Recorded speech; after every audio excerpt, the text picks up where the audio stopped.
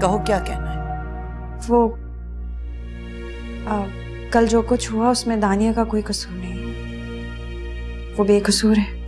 पता नहीं मुझे कहना चाहिए या नहीं कहना चाहिए। मगर मुझे तुम्हें यूँ देखना अच्छा लगता है।